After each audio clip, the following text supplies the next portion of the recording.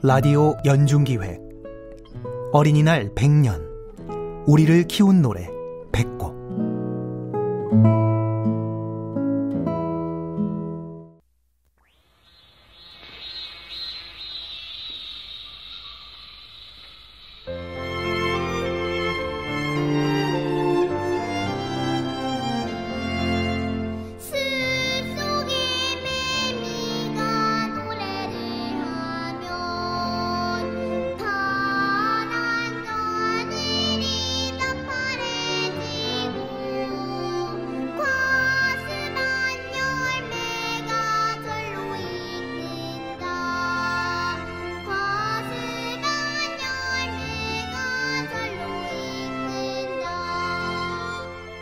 이태선 작사, 박재훈 작곡의 매미. 어린 시절 친구와 마주 앉아 손뼉치기 하며 부르던 동요죠.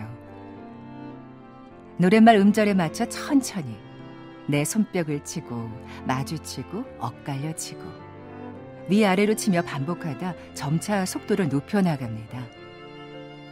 두 배쯤 빨라진 노래에 헷갈린 손동작은 갈 길을 잃고 결국 웃음이 터지고 말죠. 이렇게 우리가 친구들과 함께 놀이를 즐기며 부르던 이 곡은 여름을 대표하는 곤충 매미가 울면 여름이 무르익고 가을이 다가옴을 알려준다고 노래하고 있습니다. 맴맴하고 우는 소리 때문에 붙여진 이름 매미. 이 소리가 시끄럽다고 현대인들에게는 불청객이 돼버렸지만 그 옛날 대청마루에서 듣는 매미 소리는 여름 더위를 식히는 시원한 소리였고 매미 소리 없는 여름은 여름이 아니었습니다. 우리가 잠시 잊었던 우리의 지난 여름 이야기 동요 안에 고스란히 담겨 있습니다.